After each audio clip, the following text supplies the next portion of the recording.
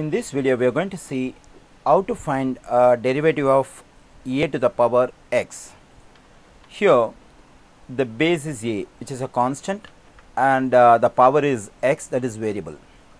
Okay, whenever uh, the power in a function is a variable and if you want to find derivative of that one you have to use logarithm. So please remember this point. So you want to find derivative of a particular function where you have variable in exponent. So you have to use logarithm. So the first step what we need to do is we have to take logarithm on both sides. In calculus, in differential and integral calculus, always we, we use natural logarithm. So I am taking natural logarithm on both sides of this function then I get ln y is equal to ln a to the power of x. Okay here on the right side I am going to use uh, the power rule of logarithm that is in a logarithm if the argument is exponential we can move this exponent in front of this logarithm. So this is uh, power rule of uh, logarithm so we get ln y is equal to x times ln a. Okay already I have told you that a is a constant. When a is a constant logarithm of a will also be a constant. So this ln a is a constant this constant is multiplied by the variable x. Okay, now we can find derivative on both sides. Okay, so now I am going to find derivative on both sides with respect to x. When I find derivative of this ln y, we are uh, we all know that the derivative of logarithm is just 1 over y. Okay, so far I have completed derivative only for this logarithm of y. By chain rule, I have to find the derivative of this argument y with respect to x because for this function my aim is derivative means it's nothing but dy over dx. So dy over dx means derivative of y with respect to x. So on both sides of the function we have to find derivative with respect to x. So when you find derivative of this ln y is just 1 over y by chain rule you have to find the derivative of this argument y with respect to x. So the derivative of y with respect to x is dy over dx. Okay, on the right side we have ln a it's a constant multiplied by the variable x whenever a variable is multiplied by a constant uh, when you find derivative you have to keep the constant as it is. Find the derivative of the variable alone. So if you find the derivative of this x with respect to x it will be just 1 and you have to keep the constant ln as it is. So we have 1 over y times dy over dx is equal to ln okay my aim is to get only dy over dx. So I have to get rid of this 1 over y. For that I need to multiply both sides by y so when I multiply both sides by y the y here and here will cancel it just get dy over dx is equal to y times ln a on the right side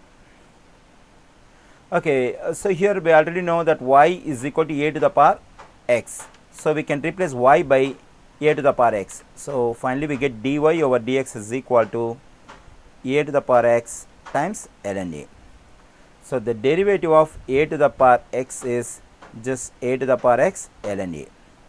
So instead of doing uh, derivation always better we can uh, remember this one like a formula that is the derivative of a to the power x is equal to a to the power x times ln a. So you have to remember the base is a constant and the exponent is a variable. In that case, its derivative will be a to the power x ln a. Okay, let's consider some other examples like uh, 2 to the power x. Again, the base is a constant and exponent is a variable. So, its derivative will be 2 power x times ln 2. So, here wherever you have a, uh, I just replace a by 2. In case if you have 5 to the power x, its derivative will be 5 to the power x times ln 5. So, in this way we can get uh, derivative of any exponential function like a power x. Okay. Let us look at another example. Consider the function y is equal to e to the power x. We already know that e is a mathematical constant, its approximate value will be 2.71828. Okay. So, again it is an exponential function because uh, the exponent is a variable. So, the same thing what we have done for a to the power x. So, before we find derivative we have to take logarithm on both sides. So, then we get ln y is equal to ln e to the power x. So, on the right side uh, we can use uh, the power rule of logarithm then we get x times ln e. Okay, as I told you uh, this one and this one both are natural logarithms because in calculus we use only natural logarithms. So, a natural logarithm will always have the base e. So, for this natural logarithm also the base will be e. Already we have the argument e. In any logarithm the, if the base and argument are same I mean are equal the value of such logarithm is 1. So, in this logarithm the base is e and argument is e. So, the value of this logarithm is just 1. Then we get ln y is equal to just x times 1 we get ln y is equal to x. Okay, now we can start uh, finding derivative. Okay, so if you find derivative, so that is uh, we have to find derivative with respect to x because y is equal to e to the power x we have to find dy over dx. Okay, when I find uh, derivative with respect to x here on the left side for ln y I get 1 over y. By chain rule I have to find the derivative of this y with respect to x. I get dy over dx. On the right side when I find derivative of this x with respect to x it will be just 1. So, now we can multiply both sides by y to get rid of this uh, 1 over y. So, this y y will cancel out. We just get dy over dx on the left side 1 times y is just y we have on the we have y on the right side. Already we know that y is equal to e to the power x. So, we can replace y by e to the power x. So, now it is clear the derivative of e to the power x is just e to the power x. Let us look at another example y is equal to a to the power of a. Here a is a constant. So, look at here a is a constant. For that constant a again we have the same constant as the exponent. So, this is completely a constant.